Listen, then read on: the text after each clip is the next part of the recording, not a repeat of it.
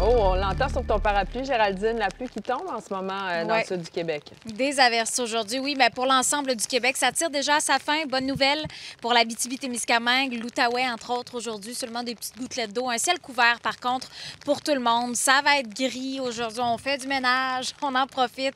50 mm d'eau ont été accumulés dans la région de la témiscamingue hier en moins de 24 heures. Et le même système continue de faire son chemin vers le centre et l'est de la province. Donc oui, Montréal et les environs, vallée du Saint-Laurent, tout ce qui est en bordure du fleuve, en fait, toutes les régions là, tout près du fleuve attendent entre 10 et 15 mm d'eau. C'est pas immense niveau quantité, mais quand même assez pour traîner le parapluie ou l'imperméable aujourd'hui. Donc vraiment, ça va être une petite pluie par intermittence tout au long de la journée.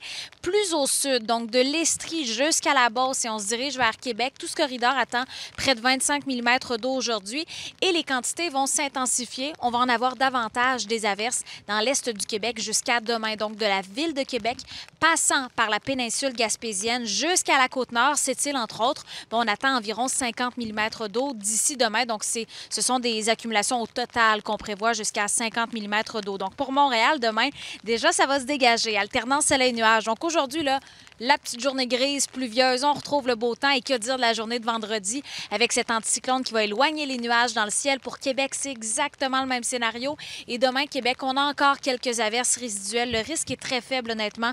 On parle seulement d'un 30% de risque de gouttelettes d'eau parce que le système va toujours se déplacer vers l'est de la province, comme je vous le disais, avec des 50 mm d'eau. Mais vendredi, le retour du beau temps. Pour la fin de semaine, on verra. C'est encore loin. Et il y a la trajectoire de l'ouragan, Lee qui pourrait changer aussi le scénario pour les secteurs plus à l'est. Donc, c'est à déterminer au cours des prochains jours. Mais voilà, passez une belle journée à la maison, plus sombre sous les nuages. Ah, ça, ça dort bien des journées comme ça. Oui, Merci, vraiment. Géraldine.